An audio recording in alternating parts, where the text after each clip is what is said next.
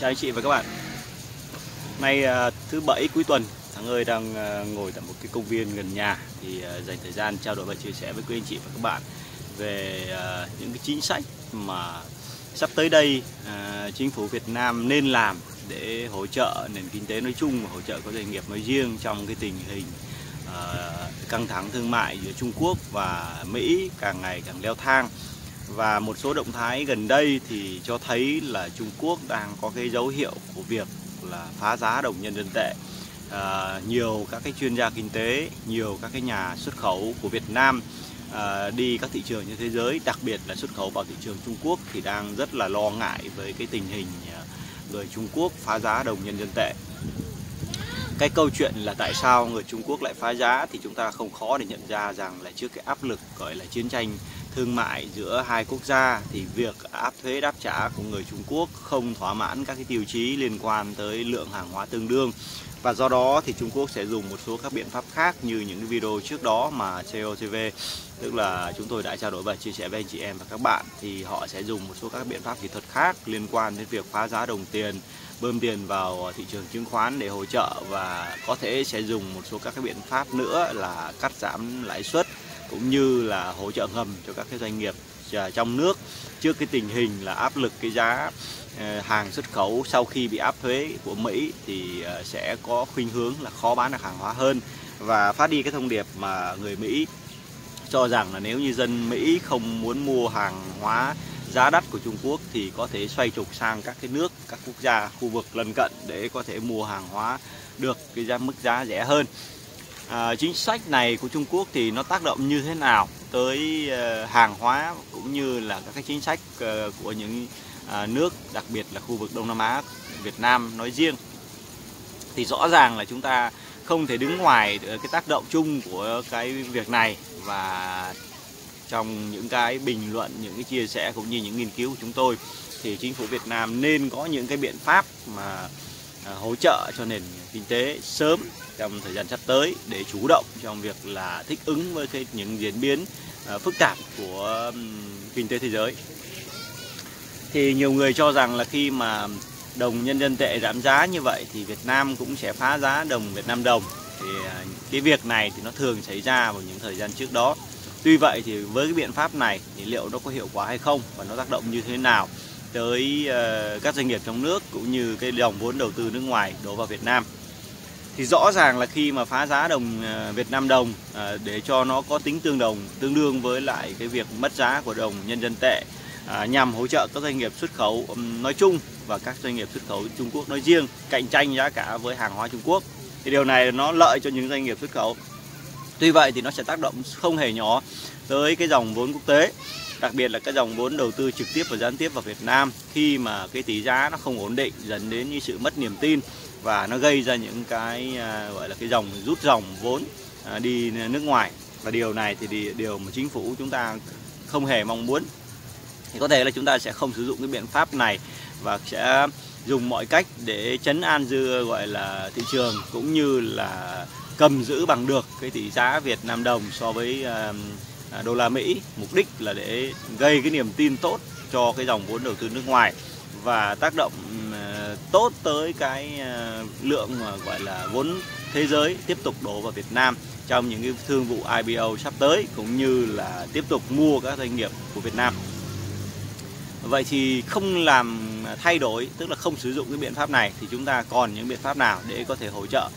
Theo dự báo của chúng tôi, để có anh chị và các bạn để có thể có những cái định lượng trước cũng như là nhờ một cái định lượng đó thì chúng ta có thể định gọi là à, nhìn nhận được cái thị trường của Việt Nam À, kinh tế Việt Nam trong thời gian sắp tới và đem đưa ra những cái quyết định đầu tư tốt cho thị trường bất động sản và thị trường chứng khoán.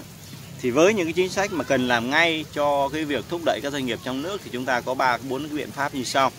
À, không sử dụng biện pháp gọi là phá giá đồng tiền thì chúng ta phải sử dụng các biện pháp gọi là biện pháp biện pháp đẩy, tức là bằng cách nào đó để thì chúng ta phải hỗ trợ các doanh nghiệp trong việc lãi vay,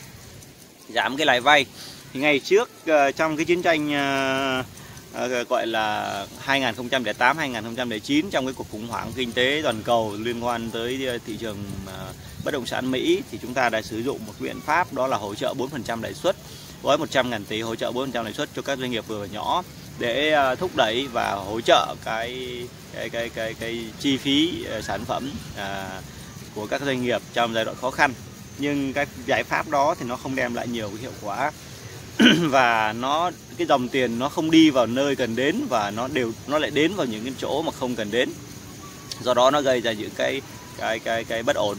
Và gần đây thì chúng ta đang nghĩ tới một số biện pháp liên quan tới việc là hỗ trợ ngầm qua các ngân hàng bằng việc là tiếp tục uh, có thể nới cái thời gian mà mua lại cái vốn uh, mà trước đây các ngân hàng bán cho VAMC chúng ta có cái gọi là cái quy trình tức là sau 5 năm từ khi mà các cái khoản nợ xấu bán về cho VAMC thì chúng ta phải chủ động mua lại thì có thể chúng ta sẽ gia hạn cái thời gian này. Đó là biện pháp thứ nhất. Cái biện pháp thứ hai mà chúng ta nên làm sớm đó là cái câu chuyện là chúng ta nhanh chóng có thể sử dụng một số cái à, việc là nới room nới room cho các ngân hàng. Nới room cho các ngân hàng thì để tránh cái việc là tỷ lệ sở hữu tại các ngân hàng thì chúng ta có thể sử dụng một cái biện pháp khác để làm à, cái điều này. Nó tốt hơn và nó tích cực hơn. Đó chính là sử dụng à, một cái biện pháp là nới room nới room mà không có quyền biểu quyết. Tức là chúng ta cho phép các nhà đầu tư nước ngoài có thể mua cổ phần, cổ phiếu của các ngân hàng Việt Nam nhưng mà không có quyền biểu quyết. Cái điều này thì nó sẽ tháo gỡ được cho việc là nâng được cái tỷ lệ vốn của các ngân hàng và giảm thiểu cái áp lực vốn lên ờ, cái dòng vốn của các ngân hàng. Khi mà cái dòng tiền nó không về, trong lúc mà thị trường bất động sản đang có những cái dấu hiệu của việc là khó khăn hơn trong thời gian sắp tới thì dòng tiền này nó sẽ bị ờ, bị bị ảnh hưởng thì chúng ta làm một cái động tác đó là nới rôm như vậy thì các ngân hàng sẽ có nhiều cái điều kiện hơn, nhiều cái nhiều nhiều cái cái cái cái dư địa hơn để nâng vốn lên. Thì nâng vốn như vậy thì nó sẽ tác động rất là tốt tới nền kinh tế, là việc các ngân hàng khi có vốn thì hoàn toàn có thể sẽ cho vay với chi phí giá thấp hơn và từ đấy hỗ trợ gián tiếp vào các doanh nghiệp. Đây là cái mà cái chính sách mà có thể sẽ làm và nếu chính sách này được thực hiện thì thị trường bất động sản và thị trường chứng khoán sẽ là những kênh được hưởng lợi đầu tiên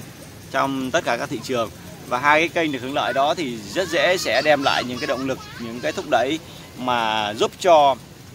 giúp cho, gọi là, các doanh nghiệp mà nói riêng và những nhà đầu tư trên hai cái thị trường này nói chung sẽ rất là tốt và tích cực. Thì tại sao chúng ta lại bàn luận về cái chủ đề này trong buổi ngày hôm nay? Là bởi vì chúng ta sớm hay muộn cũng sẽ có những cái chính sách ờ, ờ, tác động để phòng ngừa cho cái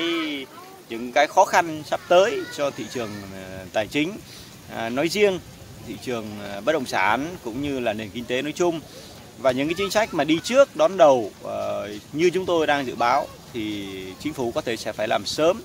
để khi mà cái tác động mạnh hơn của việc phá giá đồng tiền mà phá giá đồng tiền đặc biệt đây đây lại là nước ừ,